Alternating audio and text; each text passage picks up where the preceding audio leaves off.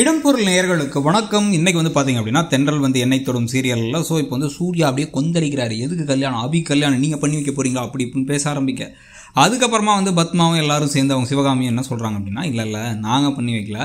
அவங்க வீட்டு சைடில் அவங்களுக்கு பண்ணி வைக்கிறாங்க. ஏன்னா வந்து இது வந்து என் மகளுக்கு ஒரு முறைப்படி கல்யாணம் நடக்கணுங்கிறது என் ஆசையும் கூட அது நடக்க போகுதுன்னு உடனே வருஷ வருஷாலாம் எரிச்சப்படுறாங்க.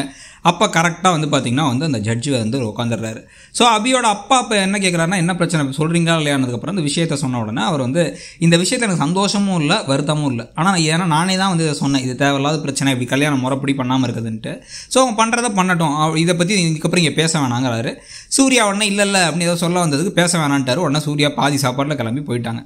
இப்போ உடனே இவங்க எல்லாரும் கிளம்பி இங்கே வந்து பார்த்தீங்கன்னா வந்து அந்த ஜவுளி கடைக்கு வந்துட்டாங்க. ஜவுளி கடை ஓனர் வந்து நல்லா தெரிஞ்சவர் போகிற அரங்கநாதனுக்கு. பட்ஜெட்டை பற்றி கவலைப்படாதீங்கன்னு சொன்ன உடனே இப்போ அன்புக்கு ஐயோ பேசாமல் நம்ம வந்து சித்ராவையும் கூட்டு வந்திருக்கலாம் போலயே அப்படின்லாம் யோசிக்க ஆரம்பிச்சிட்டாருங்க அங்கே கரெக்டாக வந்து பொண்ணு வீட்டுக்கு யார் ட்ரெஸ் எடுப்பா? பொண்ணு வீட்டு சார்பில் அதையும் நீங்கள் தான் எடுக்க போகிறீங்களான்னு கேட்டுகிட்டே இருக்கும்போது பார்த்தா இங்கே பத்மாவும் சிவகாமியும் அவங்களும் வந்துடுறாங்க. அவங்கள பார்த்தோன்னா அரங்கநாதன் நீங்கள் நீங்கள் என்னை வந்து சம்மதின்னு கூப்பிடலாம் தப்பு இல்லை அப்படின்னு அவர் சொல்லிட்டாரு. ஒரு ஆளே டக்குன்னு மாறிட்டார்.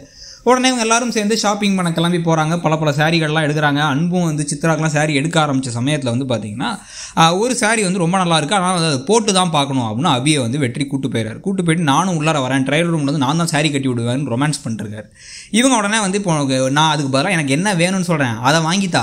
நீ இதை வந்து எனக்கு கட்டிலாம் ஒன்று விட வேணாம் அப்படின்னு சொல்லிட்டு அவங்க என்ன சொல்கிறாங்க அப்படின்னா வந்து எனக்கு வந்து ஒரு கொலுசு வேணும். அதில் திராட்சை கொத்து மாதிரி முத்து தொங்குற மாதிரி ஒரு கொலுசை வந்து ஏற்பாடு பண்ணுன்னு சொல்லிட்டு இவங்க எஸ்கேப் ஆகி இவங்க தனியாக போய் சாரி கட்டி பார்க்க போயிடுறாங்க. அதுக்கப்புறமா வந்து சாரி எல்லாம் வாங்கி எல்லாத்தையும் நல்லபடியாக முடிஞ்சு கிளம்பிட்டாங்க. இப்போ அடுத்த கதையில் வந்து பார்த்திங்கன்னா வந்து பவானி எப்படியாச்சும் வந்து பழி வாங்கணும் வெற்றிங்கிறதுக்காக அபியை அடிக்கலான்னு முடிவு பண்ணிட்டார். இது ஏன் பாஸ் இப்படி அப்படின்னு கேட்டால் அபி வந்து ரொம்ப தைரியமாக இவருக்கு எதிர்த்து பேசுகிறாங்களாம் அதனால் அடிக்கணும்னு முடிவு பண்ணி அவங்க ஒரு எக்ஸிபிஷனுக்கு போகிறதா இருக்கவங்கள வந்து ஆள் வச்சு அடிக்கலாம்னு ஆட்டோ காரட்டெல்லாம் பேசி வச்சுட்டாங்க. ஸோ பேசி வச்சு ஆள்லாம் ரெடி பண்ணதுக்கப்புறம் பார்த்தா வந்து கரெக்டாக அப்போ அங்கே வந்து கமலா வந்து அதெல்லாம் போகக்கூடாது. கல்யாணம் நிச்சயமான பொண்ணு போகக்கூடாதுன்னு சொன்னதுனால கலை வேறு வழி இல்லாமல் அவர் கிளம்பி போகிறாரு அந்த ஆட்டோ கார் திரு திருன்னு முடிக்கிறதோட இன்றைக்கி எபிசோடு முடியுது. ஸோ இன்றைக்கி எபிசோடை பற்றி நீங்கள் என்ன நினச்சிங்கிறத கமெண்ட் செக்ஷனில் சொல்லுங்கள் தேங்க்யூ